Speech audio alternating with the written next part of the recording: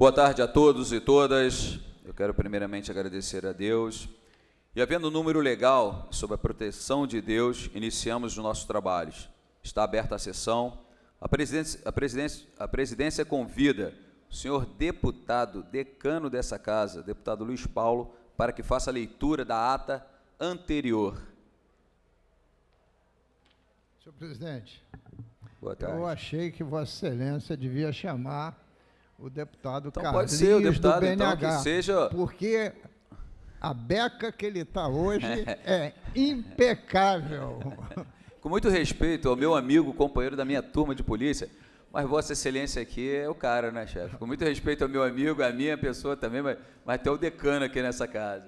Senhor presidente, a ata reflete com exatidão o ocorrido na 11ª sessão ordinária, que iniciada às 14 horas, foi encerrada às 17 horas. Lida e aprovada a ata, passa-se ao expediente inicial. Convido o deputado, meu amigo, meu parceiro, policial militar, que está numa beca, como muito bem colocou o nosso decano Luiz Paulo, deputado Carlinhos BNH. Olha, olha só, cara, veio até de azul em homenagem à nossa briosa.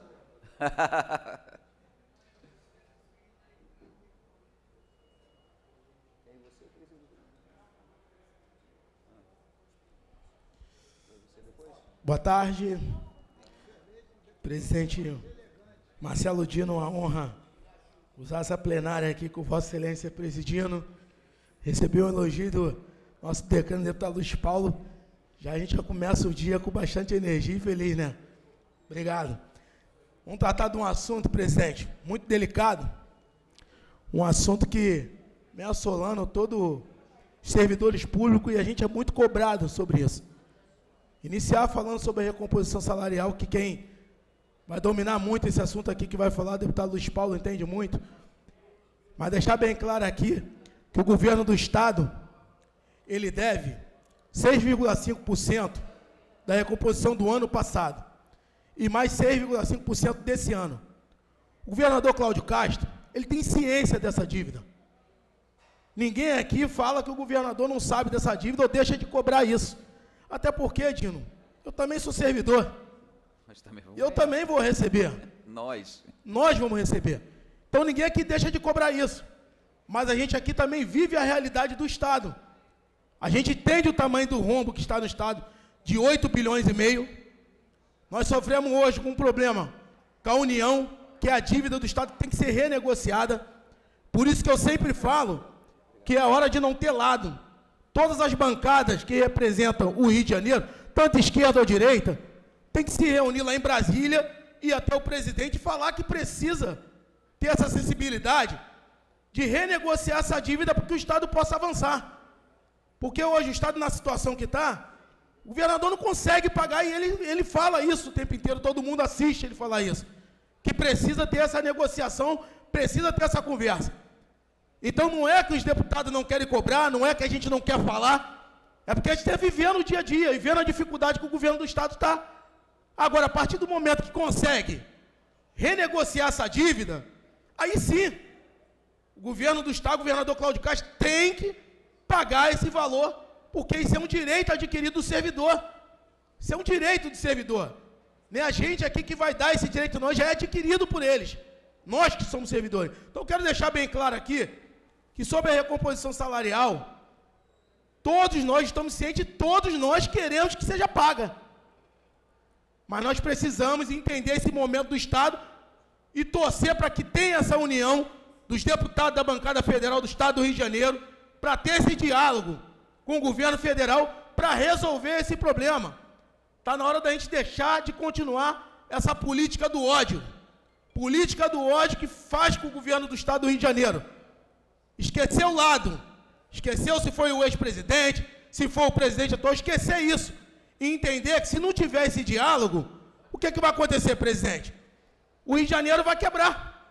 Não só o Rio de Janeiro, mas todos os estados que estão precisando renegociar a dívida. Então, para deixar bem claro aqui para o servidor, que ninguém aqui está se furtando, está se escondendo de discutir isso. A gente discute isso o tempo inteiro. Mas a gente precisa da ajuda da União para que o Estado possa sair desse momento muito difícil.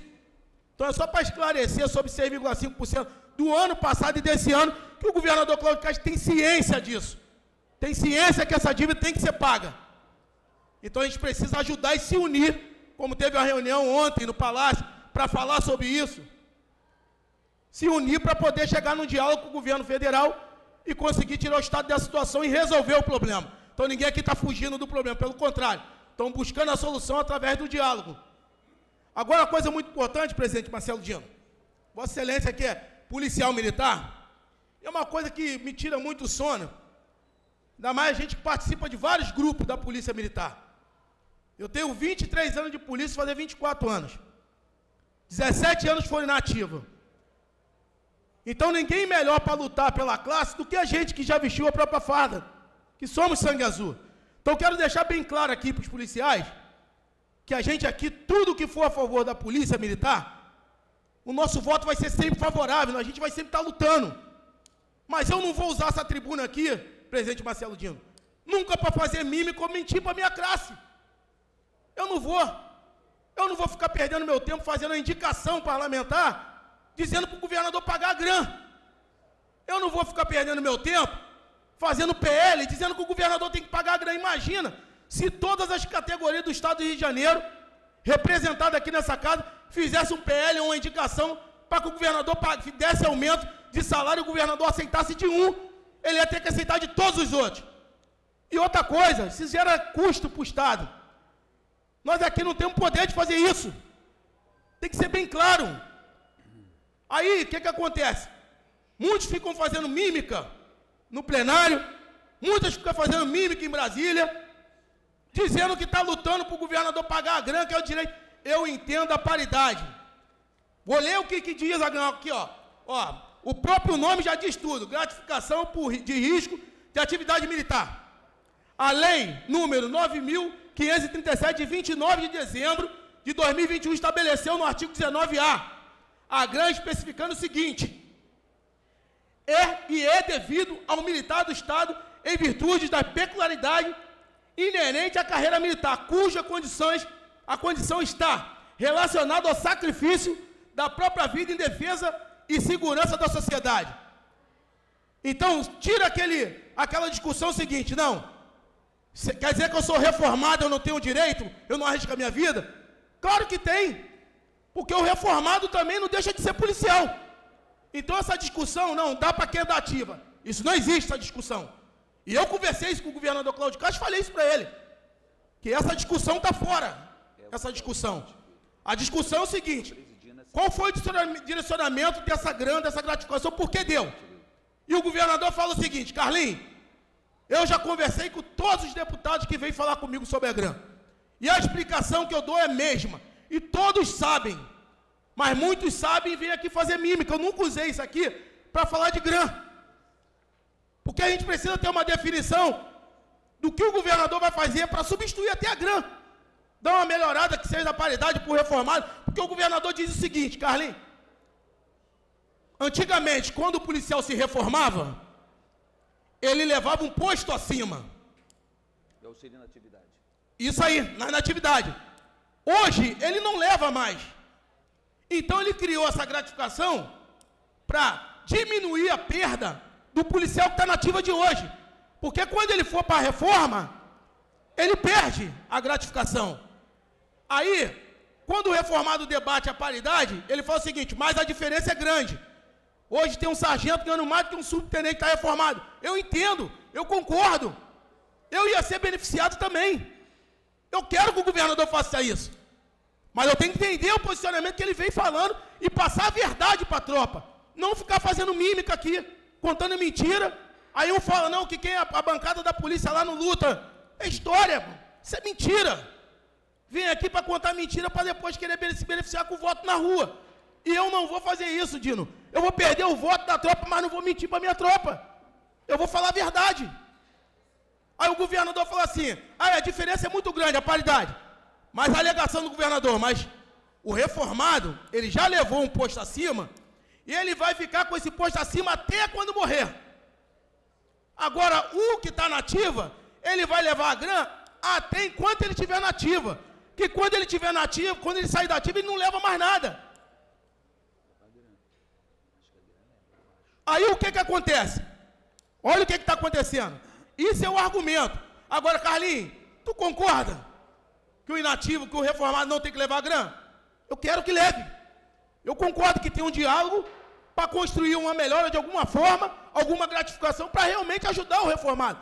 Porque eu sei que o salário é ruim. O salário é ruim. Eu fui reformar como terceiro sargento. Era para ir como segundo. O salário é ruim, eu perdi a promoção. Por causa de um mês, eu não saí segundo sargento. Por causa de um mês eu não saí segundo sargento. Eu perdi. E aí acha que eu não quero? Claro que eu quero. Mas eu não posso chegar aqui e mentir. Agora, Carlinhos, o que, que você está brigando? Fui lá, me reuni com o governador, expliquei a dificuldade que o policial militar tem na situação da saúde. Ou, ou eu fico ouvindo a tropa o tempo inteiro. Uma grande parte falou de plano de saúde. Fui no Coronel Henrique e falei, tem que fazer um estudo para saber se é melhor continuar com o hospital ou dar plano de saúde para a policiada. Isso é responsabilidade do secretário, ele tem que fazer isso. Os questionamentos ele tem que responder e dar resposta contra esses questionamentos sobre a saúde. Agora, se a gente tiver um plano de saúde, legal, é benefício, é melhor pagar. Agora, se não for, tem que construir hospitais em locais mais, mais longe, distantes do centro. Por isso que eu fui lá, briguei para construir um hospital, um HCPM, lá em Nova Iguaçu, na Baixada Fluminense. Porque vai atender o pessoal que é do interior, Itatiaia, Resende, a Baixada inteira, parte da Zona Oeste.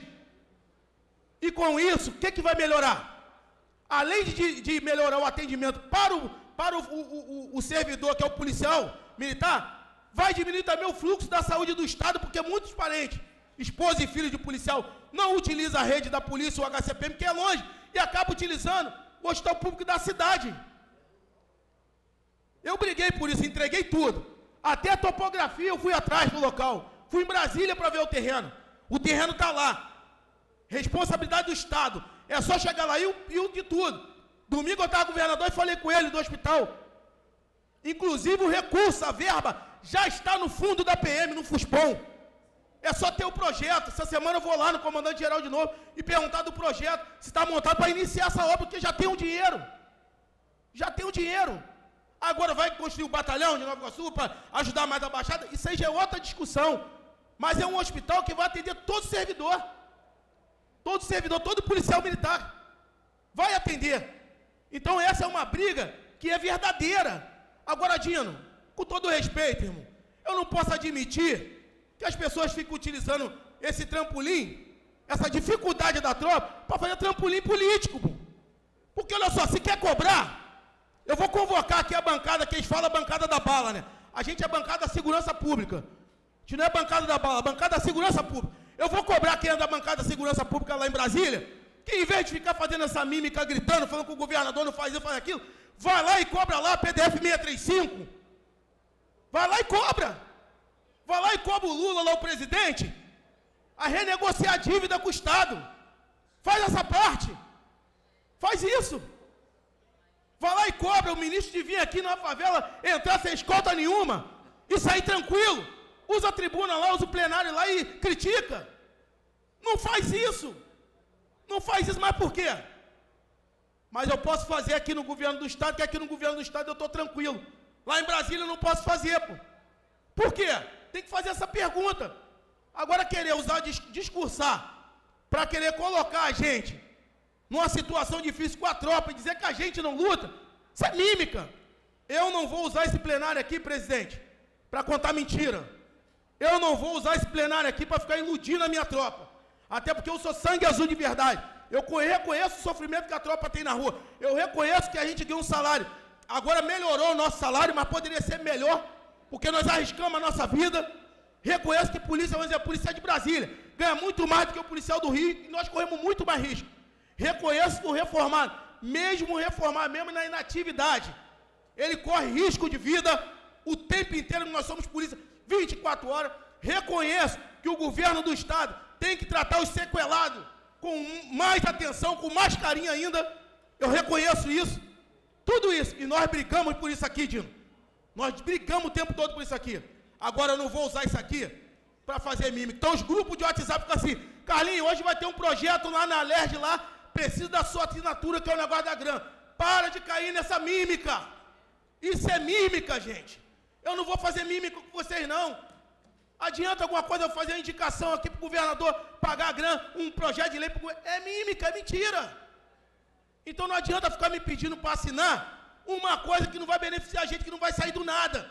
Aí tem deputado, Dino, que usa essa tribuna aqui, que quando a gente vai votar aqui uma medalha tiradente para um policial militar, o deputado vota contra. Ele vota contra. Aí ele sobe aqui dizendo que está protocolando um documento para que o governo do estado pague a grana. Ou se o cara vota contra uma medalha tiradentes, como é que ele vai votar a favor de aumento para a polícia? Isso é mentira. Então, gente, eu quero deixar um recado aqui para a tropa. Carlinhos não vai mentir para vocês. Meu gabinete está aberto lá. Se quiser trazer a comissão para vir falar comigo, eu vou sentar com vocês, vou conversar, vou orientar, vou dizer como é que está. Não tem mentira. Se eu tiver que ser reeleito e tiver que mentir para ser reeleito, eu vou perder a eleição. Eu não vou mentir. Eu vou falar a verdade. E isso é a verdade. Então vou finalizar minha fala aqui, presidente, dizendo uma coisa. Deputados federais, botem a cara com o governo federal, esqueça o lado, o de esquerda e de direita, e vai lá conversar para renegociar a dívida do Estado. Porque se não fizer isso, o governo do Estado não vai ter condição de pagar os compromissos. Não é só de aumento, não. É os compromissos do governo do Estado com a, com a população do nosso Estado. E vocês, policiais, não acreditem na mentira, nessas mímicas. Isso tudo é mímica para ficar ganhando like e ganhando seguidores. Se vocês quiserem falar comigo, o gabinete está aberto. E o Carlinho não vai mentir para vocês para ganhar voto. Porque eu sou sangue azul de verdade. Eu sou polícia militar do Estado de Janeiro e sou da segurança pública e faço parte da comissão de segurança pública dessa casa. E essa semana nós vamos estar se reunindo com a comissão mista, Nino, para estar cobrando, que foi o que nós fizemos andar nesse governo, foi a comissão mista, eles já estão com vários pareceres prontos. Que eu falei com o presidente da comissão mista hoje, estão com vários pareceres. A gente precisa, vamos conversar com ele, a comissão de segurança, vamos chamar eles para entender como é que estão os processos para reintegração dos policiais que foram expulsos injustamente. Isso é verdade. Não é mímica, não é mentira. Então, não acredite em mímica, não acredite em mentira. Presente, obrigado, uma boa tarde. Pedi o nobre deputado para presidir a sessão aqui para que eu possa usar a tribuna.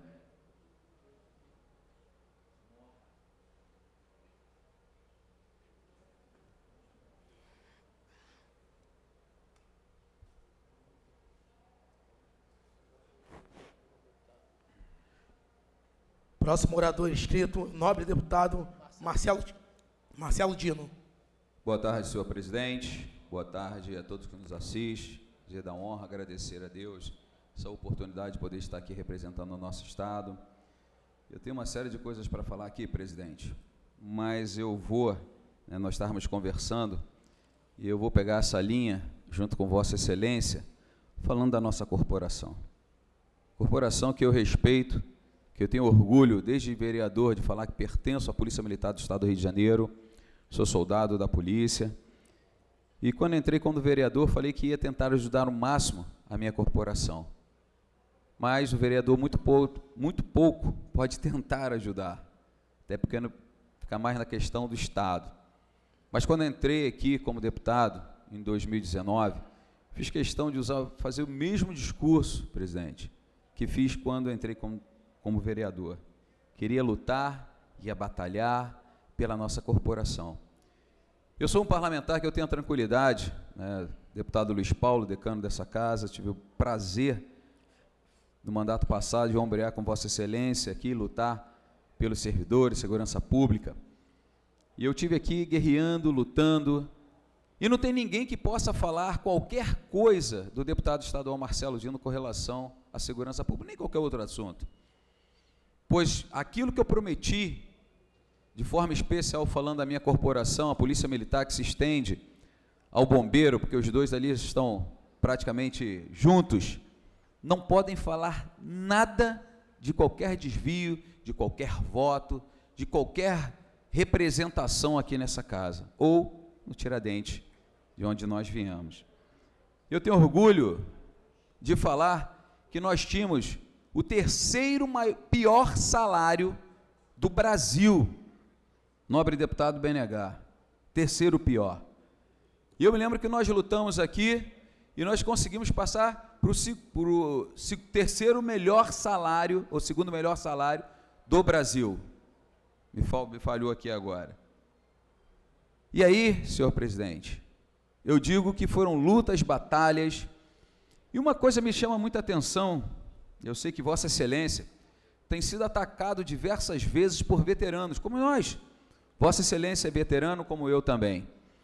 Mas, infelizmente, essas pessoas estão sendo guiadas por pessoas que não têm escrúpulos e respeito aos nossos companheiros da ativa também, que são guerreiros hoje que estão no fronte onde nós estivemos no passado. E aí eu quero lembrar, refrescar a mente, gostaria que vocês, vocês replicassem isso para os veteranos. Que eu me lembro, meu decano, que ali, naquele microfone, quando veio a 9537, e eu era presidente da comissão de emendas e vetos, e eu dei pela derrubada dos vetos do executivo. O senhor lembra disso?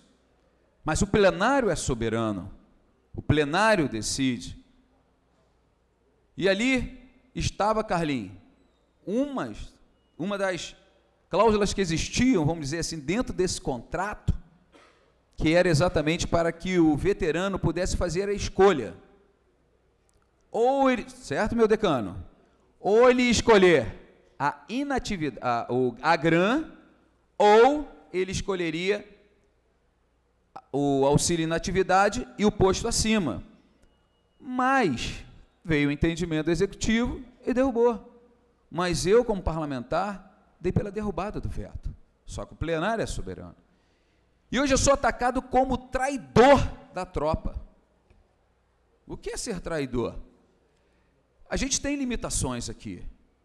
Como Vossa Excelência tem limitação, mas eu gostaria que essas pessoas que sempre nos julgam e pegam pessoas que eles querem, é, que eles induzem um pensamento errado viesse aqui no gabinete, vamos discutir sobre isso. Integralidade, paridade. É importante, vamos discutir. Mas eu quero deixar aqui o artigo 112 da Constituição do Estado do Rio de Janeiro. A iniciativa das leis complementares e ordinárias cabe a qualquer membro ou comissão da Assembleia Legislativa, ao governador do Estado, ao Tribunal de Justiça, ao Ministério Público, à, à Defensoria Pública e aos cidadãos, na forma e nos casos previstos nesta Constituição. Parágrafo 1. São de iniciativa privativa, ó, preste atenção, por favor. São iniciativa privativa do governo, do governador do estado, as leis que, olha aqui, nobre deputado, cria, aí a linha A, criação de cargos, funções ou empregos públicos na administração direta ou autarquia do Poder Executivo ou aumento de sua remuneração. E aí, nobre deputado, vou agora direcionar pessoalmente ao nosso decano, o que, que nós podemos fazer? Podemos fazer algumas indicações, podemos fazer alguns projetos de leis autorizativos, que aí eu chamo a atenção que aqui eu fiz uma indicação para provocar o, o executivo a questão do CFS 92, 98, que foram preteridos, pois estudaram, fizeram por, tiveram seu mérito, avançaram e foram preteridos. E eu expliquei diversas vezes, BNH, que não era simplesmente um projeto de lei autorizativo, foi o que fizeram posterior à minha pessoa. E eu falei, não vai adiantar. Eu me lembro que eles ficavam me ligando todo o tempo. Eu falei, é uma questão muito mais política do que qualquer outra coisa. Foi aprovado, batalhei, pedi aos deputados, todos me apoiaram, mas não aconteceu. E aí vem exatamente o que o deputado Benegar me antecedeu e falou. Ficam nos atacando, mas infelizmente as pessoas estão sendo teleguiadas, estão sendo direcionadas para nos atacar, pois essas pessoas, pode ter certeza, essas pessoas não querem o bem de vocês. Eu estive BNH, eu estive no TCE para nós falarmos sobre a GRAM. E o que eu pude ver é um companheiro nosso tentando atacar quem ganhou a GRAM. Amigo, quem ganhou a grana, deixa eles com a grana. Vamos lutar por quem não tem a grana ainda. Que somos nós, veteranos. E como muito bem colocou meu amigo aqui, eu não quero aumento, eu não sou deputado, eu estou deputado. Eu sou policial. Eu levo o meu salário até o fim da minha vida. Agora, eu não vou ter o salário de deputado o resto da minha vida.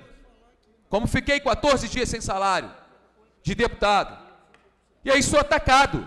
Ele não quer fazer, ele é traidor. Não sou traidor. Eu sou um cara que fala a verdade. Vê lá com o pessoal CFS 9298, como eu falei para eles. Não vou enganar vocês. E como bem falou meu amigo, nós não estamos aqui para enganar e jogar para a galera. O que fazem muitas das vezes aqui nessa tribuna, com vocês, que lutaram, que batalharam, sequelados, vitimados, viúvas, contam história para vocês. Aqui tem a verdade, aqui tem a seriedade com cada um dos senhores e das senhoras. E eu tenho orgulho de dizer que eu lutei sim pelas, pelas viúvas. Eu briguei sim. Eu fui lá e botei a cara. Fui lá, fui no movimento e graças a Deus voltaram. Sabe por quê? Porque eu tenho responsabilidade.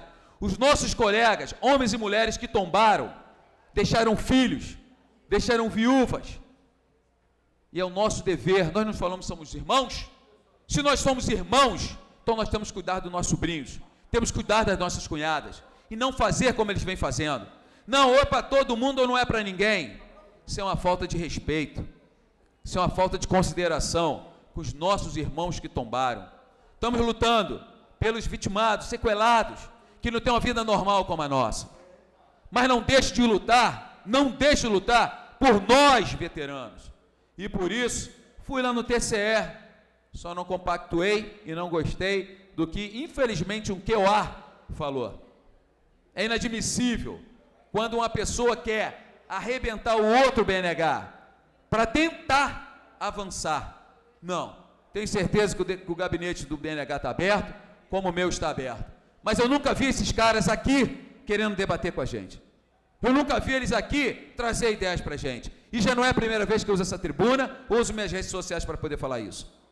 E aí o que eles querem? Que a gente jogue para a galera? Sabemos jogar também. Mas não vou fazer isso. Porque aqui tem um cara que sabe por onde passou. Polícia Militar do Estado do Rio de Janeiro. E já que eu passei por ali, eu quero dizer, presta a camisa aí, por favor. Eu quero dizer que eu estarei aqui sempre lutando por vocês. E muito bem colocado aqui, pelo meu amigo BNH, a questão, a questão da reposição. E aí nós precisamos, daqui a pouco o nosso decano Luiz Paulo vai dar uma aula aqui, porque é um cara estudioso na matéria, conhecedor e que pode falar com grande propriedade, mas eu venho batendo isso há muito tempo que é a questão do pacto federativo. Está na hora de, dos deputados federais, está na hora dos senadores trazer essa responsabilidade e mudar essa história. Tirar o Rio de Janeiro de uma colônia, colônia de exploração, como o Brasil foi de Portugal. Mas infelizmente os políticos muitas das vezes prometem, mas não praticam e não fazem. E é a hora de vir trazer isso à tona, essa discussão, e começar a guerrear, como, como o nosso decano falou, ingressar no Supremo, para que possa haver essa discussão e o Congresso tomar essa decisão. E assim, assim nós vamos mudar essa história, para que realmente a reposição seja dada de 6,5 de 2022, de 22, de 23 e de 24. Que eu também vou ser beneficiado. E aí eles falam que nós não queremos aumento. Quem não quer aumento? Quem não quer? E é esse que eu vou levar para o resto da minha vida. E senhor presidente, eu quero aqui externar minha solidariedade, fazer questão de botar aqui, dar um zoom aqui para mim. Todas as profissões que eu participei, que eu estive, eu sempre guerrei muito. Como disse, eu já fui camelô, já fui taxista, já fui caminhoneiro. Eu já usei essa tribuna aqui falando da minha indignação com o atual governador, o atual prefeito Eduardo Paes, que infelizmente, tenho certeza que sua cúpula lá fez uma restrição à circulação de caminhões na Avenida Brasil.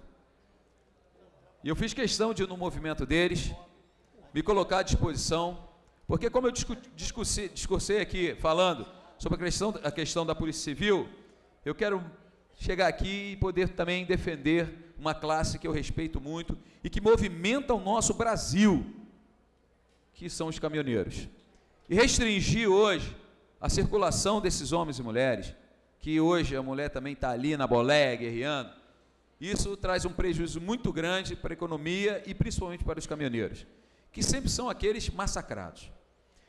E quando eu estava vindo para cá, eu fiz questão de ligar para eles para saber qual foi a definição que foi dada na reunião com o prefeito.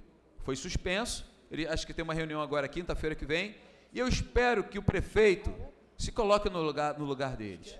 Porque eles vêm, são, tem uma restrição já na Ponte Rio-Niterói e agora também na Brasil. E um deles até me colocou, poxa, duas faixas para o BRT, e por que não uma, já que não, pode, não vão ultrapassar? É uma realidade e que nós temos que viver.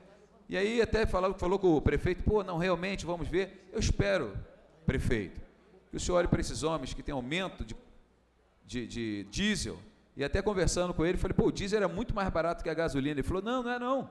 Falei, era assim, rapaz. Eu me lembro quando caminhoneiro o diesel era muito barato. Ele falou, não, mas quantos quilômetros faz um caminhão e um carro com seu combustível? Ou gasolina do carro, ou óleo, ou óleo. Falei, não, por esse lado, então, o óleo diesel ficou absurdamente maior, porque um, um caminhão faz uma média de 2, 3 quilômetros por litro. Então, prefeito, por favor, se o senhor puder rever essa situação, dialogar com eles como o senhor fez, pedindo, entrou pedindo desculpa, nobre atitude, mas não somente a desculpa, mas com ação. E eu quero aqui, senhor presidente, também agradecer, agradecer ao nosso governador, que pela primeira vez, que eu saiba, estou tendo ali em Duque de Caxias uma máquina anfíbria, ou seja, uma máquina que ela entra no rio e ela consegue acesso onde muitas vezes a long hitch, ou uma escavadeira, ou uma dragline não consegue chegar. Nós estamos no verão, continuamos ali trabalhando e hoje, para honra e glória de Deus, e através do nosso mandato, da nossa guerra, o pilar que foi muito sacrificado há 14 anos atrás e mais uma vez agora, nessas chuvas de verão, as pessoas perderam todos os seus pertences, viram a minha luta, a minha batalha dentro da água, literalmente, guerreando, lutando, ajudando a população. Mas hoje, uma realidade que era o meu sonho desde vereador, levar uma máquina como essa que realmente faz a diferença, vai aonde as outras não podem ir e fazendo uma dragagem como tem que ser feito. Mas quero dizer que tenho conversado com o governador, vou ao novo secretário agora de Meio Ambiente, onde eu agradeço ao ex-secretário Tiago Pampolha, grande amigo, mas pedi lá ao Rossi todas as obras necessárias, elevar o DIC, que é de suma importância, colocação das bombas e rever o sistema das comportas. E aí eu sei que com essa dragagem que nós estamos fazendo e todas essas, ações, nós vamos sim conseguir mudar a história daquela região. E vamos continuar lutando por todas as outras, toda Duque de Caxias, porque na realidade é o que nós precisamos. E para finalizar, senhor presidente, sei que só tem mais um inscrito aqui, então posso falar. Eu quero agradecer o Coronel Eric, comandante do 15º Batalhão. Como todos sabem aqui, eu venho travando uma guerra muito forte com a, com a milícia, com o tráfico e com, narco, com a narcomilícia.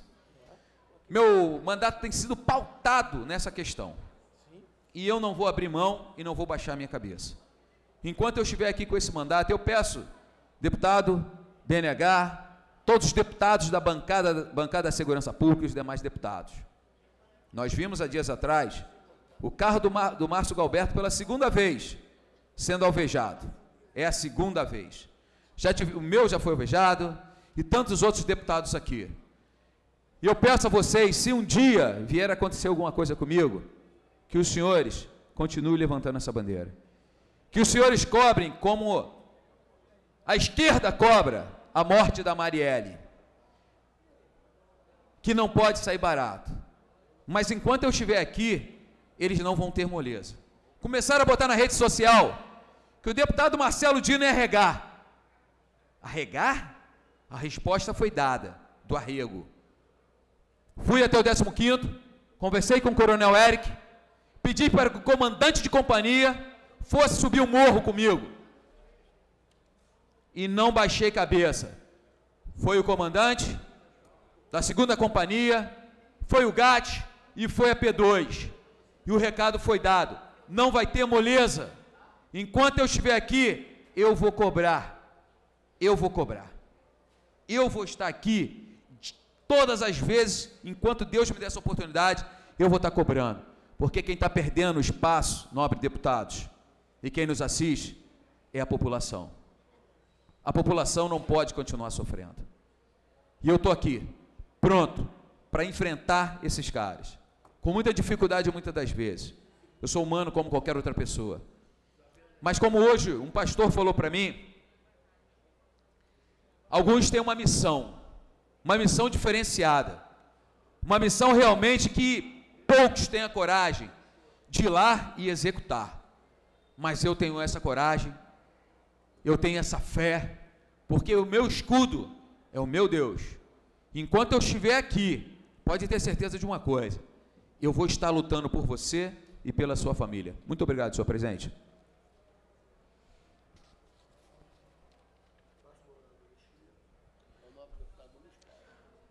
Próximo orador escrito é o nobre deputado Luiz Paulo.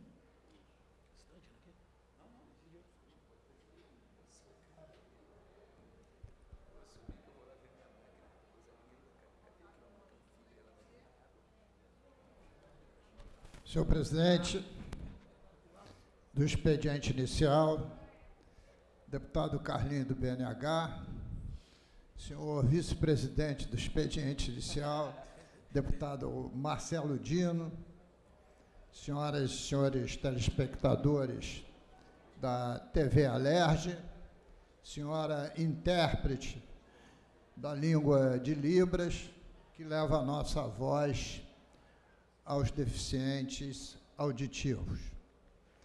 Primeiro ponto, senhor presidente, eu queria me solidarizar com o ofício que a nobre deputada Marta Rocha, presidente da Comissão dos Servidores Públicos, fez no dia 29 de fevereiro deste ano ao excelentíssimo presidente e desembargador do Tribunal de Justiça, doutor Ricardo Cardoso, solicitando, como presidente que o é, da Comissão de Servidores Públicos, que ele pudesse se sensibilizar com o pleito dos concursados administrativos do último certame para que ele fosse prorrogado. Porque o concurso lá no TJ foi efetuado em 2021 e foi homologado em março de 22. E vence agora, dois anos depois, em março de 24, que é o mês que nós estamos. E o presidente do Tribunal de Justiça tem a hipótese de poder prorrogá-lo por mais dois anos, até março de 26. Então, é um apelo que fazem os concursados do TJ, apelo que já foi acolhido por essa casa, através do ofício da deputada Marta Rocha, que eu venho aqui endossar, me solidarizar e dizer que é um pleito justíssimo, porque é uma prorrogação, isto é, dar ao chefe do executivo, do, do chefe do Tribunal de Justiça, a possibilidade de ainda ter mais dois anos pela frente, possibilidade legal, de chamar esses concursados. Então, esse era o primeiro ponto.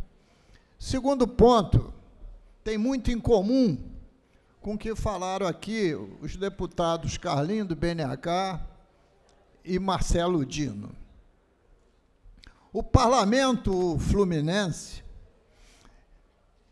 aprovou em 2021, e eu sou coautor dessa lei, sou coautor, uma proposta que, se pudesse fazer a reposição salarial dos salários de todos os servidores públicos ativos e inativos, de todos os poderes que ficaram congelados no período do primeiro regime de recuperação fiscal. Então, esta casa aprovou a lei que foi sancionada pelo governador Cláudio Castro para ter essa reposição entre setembro de 2017 a 31 de dezembro de 2021. E essa reposição foi calculada em cima da variação do IPCA, que é o indicador oficial que mede a inflação. À época, esse valor foi calculado, deputado Carlinhos do BNH, e foi calculado em 26,1%. O governador tinha que pagar até fevereiro de 22 de 2022 13,05 e que fosse extensivo a todos os poderes e todos os inativos e pensionistas. E assim ele o fez. Depois tinha que pagar a segunda parcela de 6,5 sobre os valores de setembro de 17 em fevereiro de 2013, o Poder Executivo não pagou, mas todos os outros poderes fizeram pagamento. Poder Judiciário, Ministério Público, a Defensoria, Tribunal de Contas e Assembleia Legislativa. Pois tinha a terceira parcela, tinha que ter sido paga até fevereiro de 2024. Novamente, Todos os poderes pagaram, com exceção do Poder Executivo. O que, que alegou o Poder Executivo? Que não tinha recursos para fazê-lo. Então, o chefe do Executivo é devedor de duas parcelas de recomposição salarial, não é aumento aos servidores ativos e inativos do Poder Executivo. Alegação: não há dinheiro no caixa. Alegação: o regime de recuperação fiscal e o serviço da dívida faz com que o Estado cada vez fique mais no garrote vil Garrote viu aquele gargalo que se bota no pescoço e se mata sufocando a vítima. Ela é uma punição criminosa da Idade Média. Bom, governador, no dia de ontem, fez uma reunião no Palácio Laranjeiras e convidou toda a bancada federal lá estiveram 19 deputados federais e um senador, de um total de três senadores e 46 deputados federais. E esta Casa Legislativa, por decisão do presidente Bacelar, se fez representar pelos deputados Rodrigo Amorim, doutor Serginho, e esse que vos fala. E qual era o tema desta reunião? Regime de recuperação fiscal e dívida dos estados com a União. Queria lembrar às Vossas Excelências que esta casa, no ano de 2022, fez uma CPI sobre o tema dívida do Estado com a União, que eu tive a honra de presidir e teve como relator o deputado Rodrigo Amorim. Deputada Marta Rocha acompanhou isso muito de perto. E, e, e esta CPI, em 22, apontou algumas coisas claras como águas, como água. Um, que se a gente voltar a 97, 98, com esse garrote vil que a União impôs aos estados brasileiros e ao Rio de Janeiro em particular, com o regime de recuperação fiscal, essa dívida já está mais do que paga. E mantidas as condições atuais, isto é, ela sofrer o reajuste pelo IPCA, mas juros nominais reais de 4% ao ano, mais uma famosa CAN, que é coeficiente de atualização monetária, essa dívida é impagável. O Estado vai escolher que ano ele quebra, se o ano de 25 ou o ano de 26. Então não tem outra saída para o estado do Rio de Janeiro, nem para Minas Gerais, nem para o Rio Grande do Sul, nem para Goiás e para outras unidades da federação que estão muito próximas de ficarem viáveis, que renegociar esse serviço da dívida.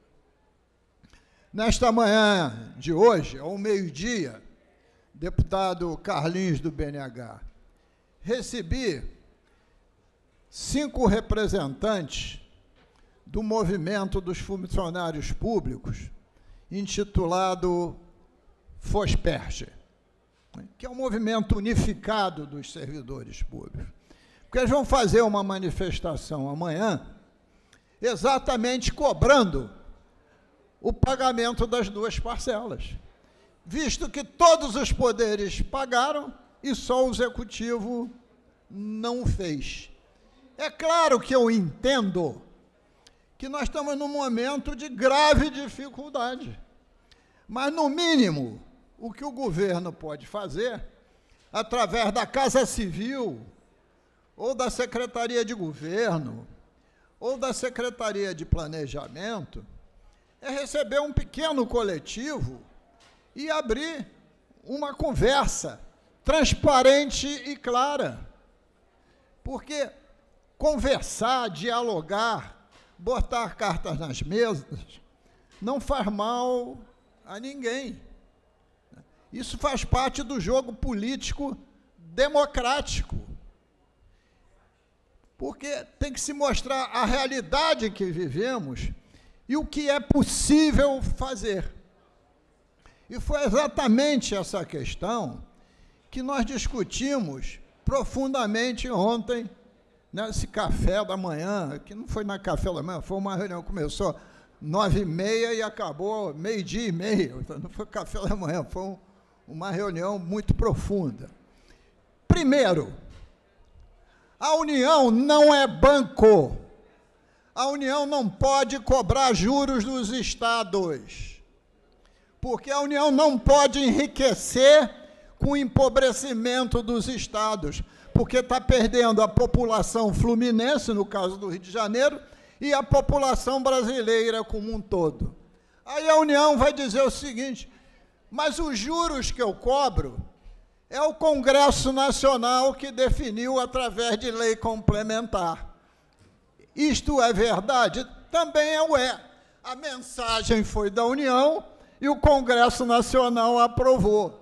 A lei complementar 148 de 2014 é a que definiu que os juros são IPCA mais 4% ao ano. Sabe quem negociou essa dívida para mudar de GPDI mais 6% ao ano para IPCA mais 4%, que é evidentemente menor? Né? Quem, uns grandes, dos grandes negociadores foi o prefeito de São Paulo, hoje ministro da Economia, o prefeito Haddad.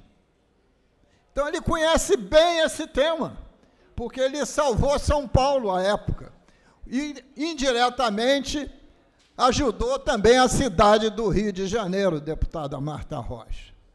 Ora, então esta é uma tarefa, e os senhores falaram muito bem, que compete ao Congresso Nacional. Porque quem quebrou o regime de recuperação fiscal primeiro foi a União, quando, através das leis complementares 192 e 194, reduziu a alíquota do ICMS de 30%, que era em combustíveis, energia e telecomunicações, e reduziu para 18. Isso nos levou a ter uma perda anual de 8,5 bilhões de reais, que por acaso ou não, deputado Carlinhos BNH, o senhor falou aqui esse número, é o rombo do orçamento de 2024. O que, que é o rombo do orçamento? A despesa ser maior que a receita em 8,5 bilhões de reais. E a União, em não satisfeito, função de um relatório do Conselho de Supervisão Fiscal, que é um triunvirato, que acha que manda mais que governador, que os parlamentos, recomendou que o Rio de Janeiro fosse punido porque arranhou o regime de recuperação fiscal. E essa punição é da ordem de 30 pontos percentuais. A dívida que a gente tem que pagar esse ano é de 6,9 bilhões, 2,3 de principal e 4,6 de juros. Chama-se encargos da dívida. Com essa punição que foi publicada em 28 de dezembro, nós vamos pagar cerca de 9 bilhões, se ela não for revista. Então, é claro e evidente que a decisão está na mão do Congresso Nacional. Até porque a União é obrigada a mandar uma mensagem de um novo regime, que foi ela que quebrou. E quando estou falando da União, não estou falando do governo XYZ, porque essa apropriação indevida que a União faz dos recursos dos estados, ela vem desde 1997. Passou por governos do PSDB, do PMDB, do PT, do PL, passou por multifacetados partidos políticos. E essa é uma questão que nos une e o senhor disse bem, independente de partido político, porque é uma questão de Estado, é uma questão de soberania, é uma questão do pacto federativo. Estamos todos no mesmo barco, do mesmo lado, porque sem serviço público, sem servidor público, remunerado, justamente remunerado e qualificado, não tem política pública. Como é que a gente pode melhorar as políticas públicas de segurança, de saúde, de educação, se você não tiver as receitas devidas? Então, essa luta é de todos. E volto a dizer, agora mais do que nunca, são os senhores deputados federais e senhores senadores que têm que comandar essa batalha evidentemente, se for necessário, empurrado pelo governador, empurrados pelo governador do estado, pelo parlamento fluminense e pelo conjunto do funcionalismo público. Então achei oportuna a fala dos senhores, porque com seu da parte ao, perfeitamente, deputado Marcelo Diano. Eu quero dizer, sou solidário ao senhor, né, e todos os deputados que lutam aí para essa galera aí do exatamente a prorrogação do concurso público, eu acho muito importante hoje. Vocês chegaram agora, mas o nosso decano já tinha falado aqui, e é importante que cada parlamentar venha aqui, se pronuncie a favor deles, para que realmente é, possa ser feita essa justiça e que, na realidade, hoje é um déficit muito grande e necessita. Então, quero externar aqui a minha solidariedade, a todos vocês, ao nobre decano e à deputada. Obrigado, senhor. Concluindo, senhor presidente, deputada Marta Rocha está aqui em plenário.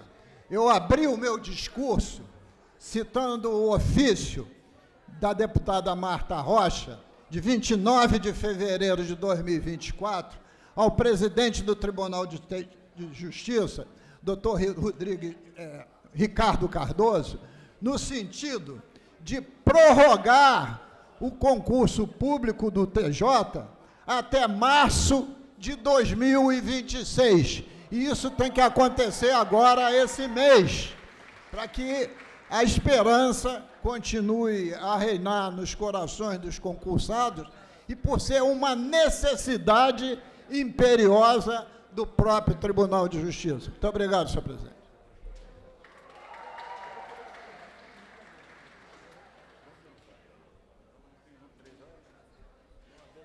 Não havendo mais oradores inscritos, a presidente suspende os trabalhos até às 15 horas, quando retornaremos com a ordem do dia. Está suspensa a sessão.